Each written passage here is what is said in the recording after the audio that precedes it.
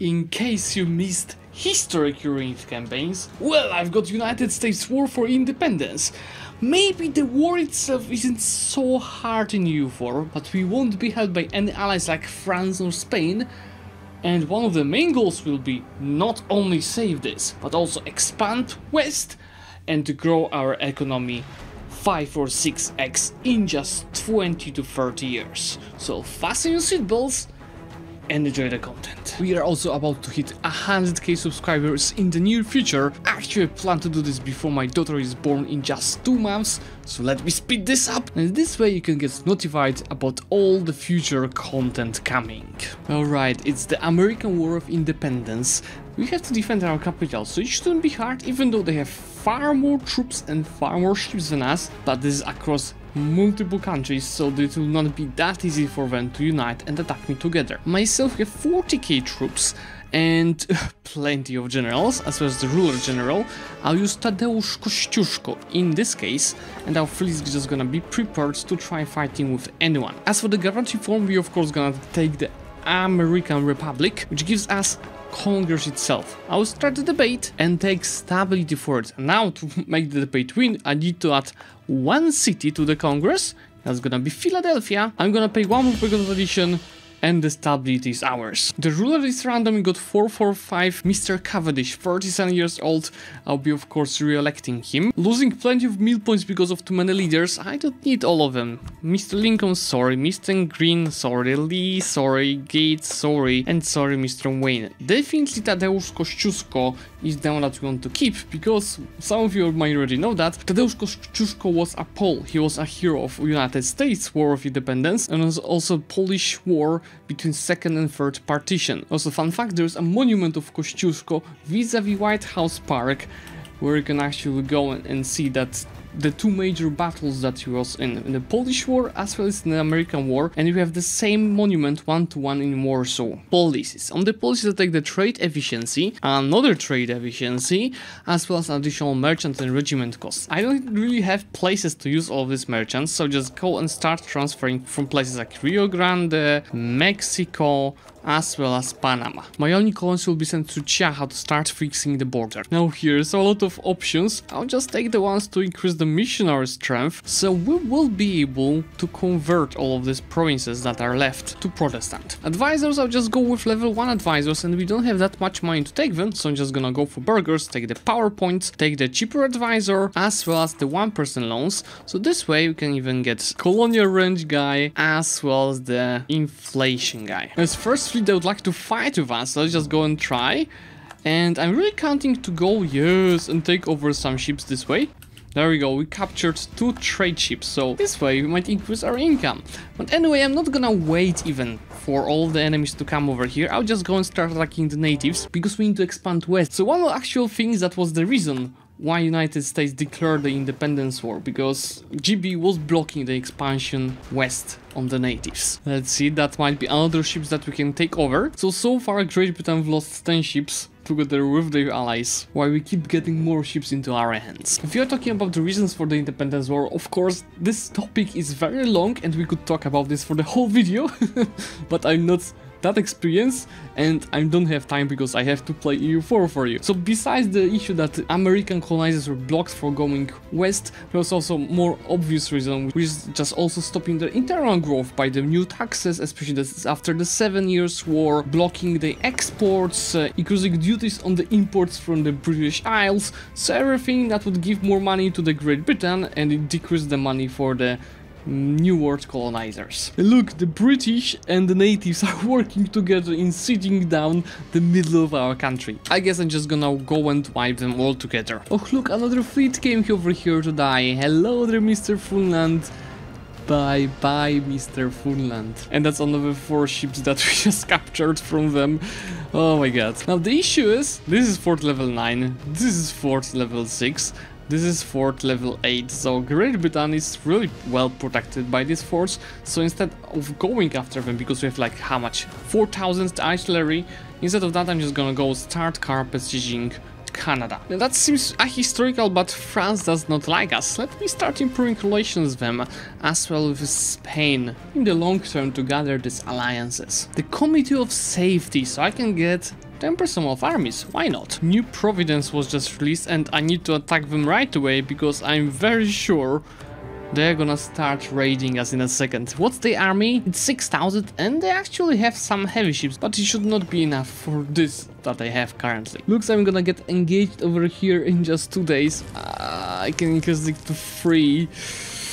I did not see this army coming, but I'm coming with a lot of... Oh, too late. Coming lot of troops on the force march to be able to defend over here and it's not looking good. It's not looking good, we're fucked up guys. Run fools.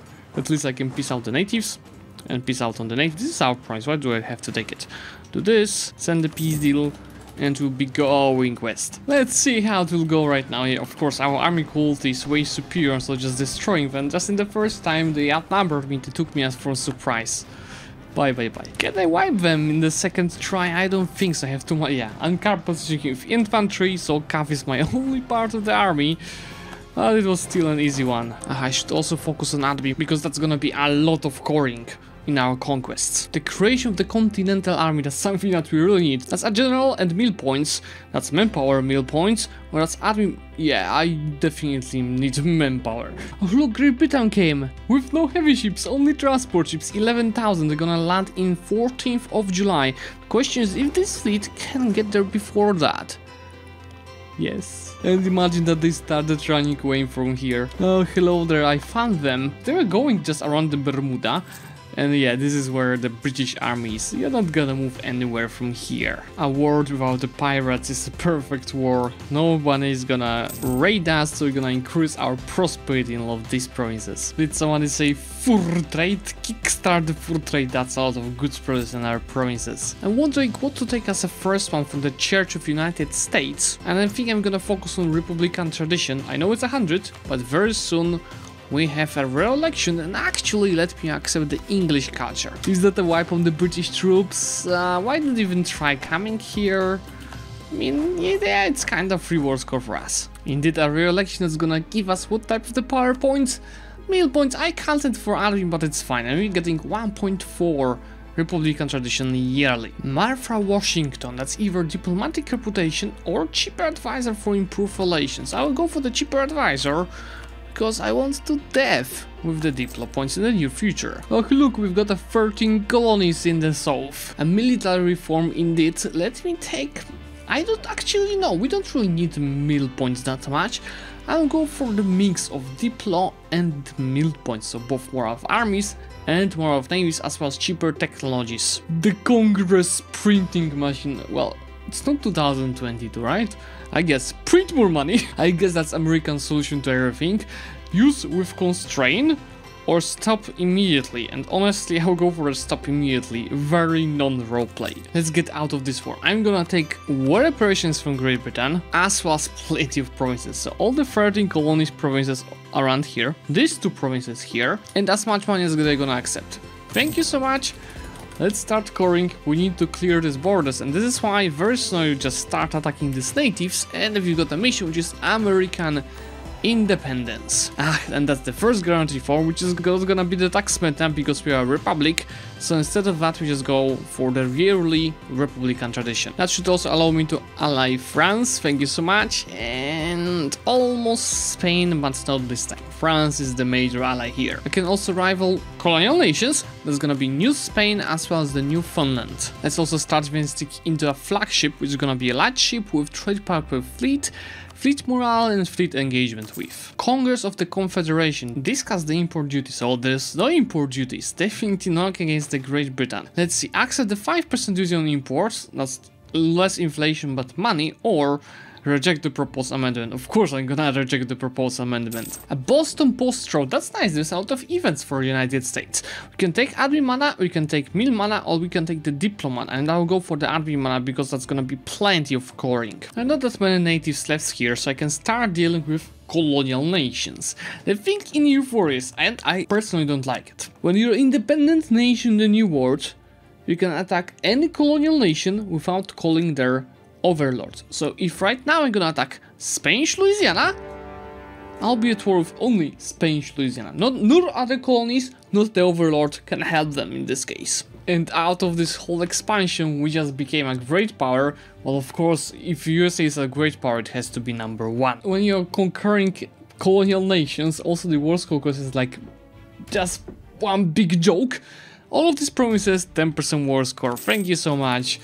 Expanding west. I'm not a Spanish expert, but wasn't it called Hispaniola historically? Not Isla Juana? I guess maybe it changed the name later. Anyway, Florida just got formed and I can go and attack them. It's really funny how the game is asking me to take my own promises in the peace deal and probably if I take them I would have to pay for the coring. Uh, we we don't do that here. No thank you, we just need to find this province over here to take it. There it goes, send the peace deal. Ay ay ay, we need more. In the Florida down, the border should be very close to perfection. Evacuation day, okay. A little bit more and it's gonna be perfect. My next issue in the Congress is gonna be focused on missionary because we have plenty of provinces to convert, especially the Totemist and Catholic nations that we just conquered. Something that it actually forgot to do so. Let's concentrate development in all of the provinces that we just conquered to increase development in our capital. Also, here is Ozarks. I've watched the TV series about it.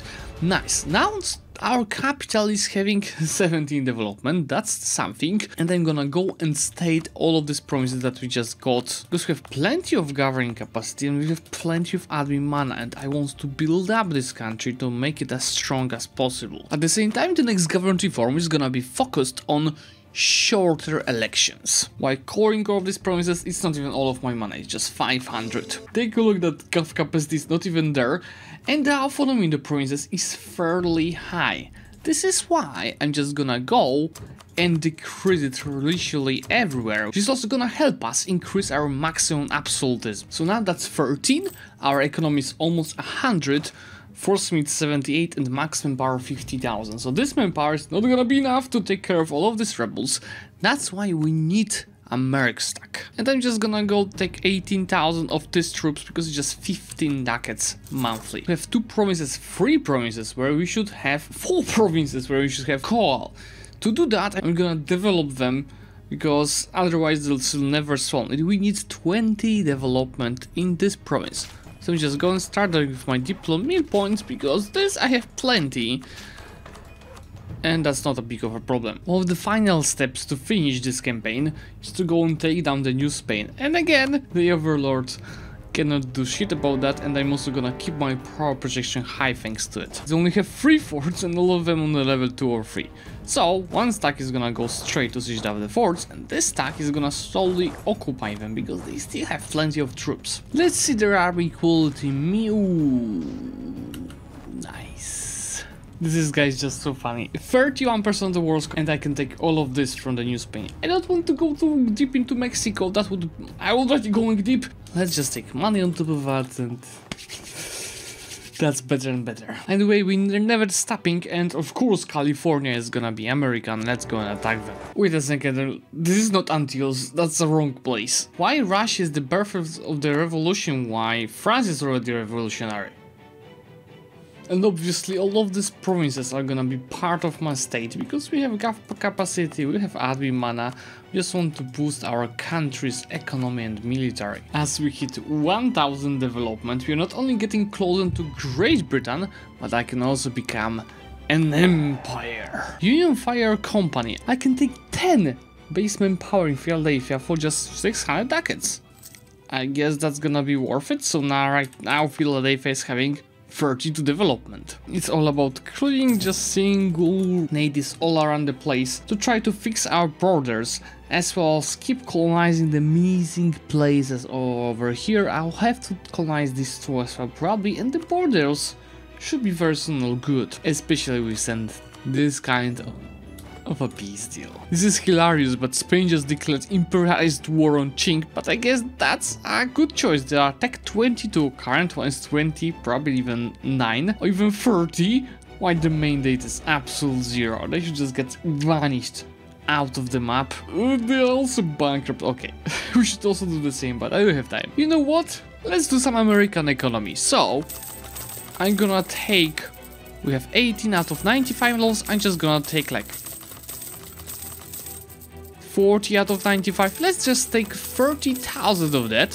Hmm, it's nothing, just 70 of interest. And what I'm gonna do, I'm gonna spend all of that money, first of all on a furnace, and second of all on all of these manufacturers that we are having just waiting in our provinces to be invested. Inflation is just a number, debt is just a number, we are just gonna be too big to fail in this case. Battle, oh, that's gonna be so much money. There are absolutely no blockers in the expansion and spending 72 ducats on 5 different colonies across all of these provinces to keep the borders beautiful. Like look, Great Britain is not doing too well since we left them and even Ireland broke free. Ah, just before the plantations being done, a golden era for the United States. Oh boy, let's see how much of an actual increase of the income we can achieve. It's 159.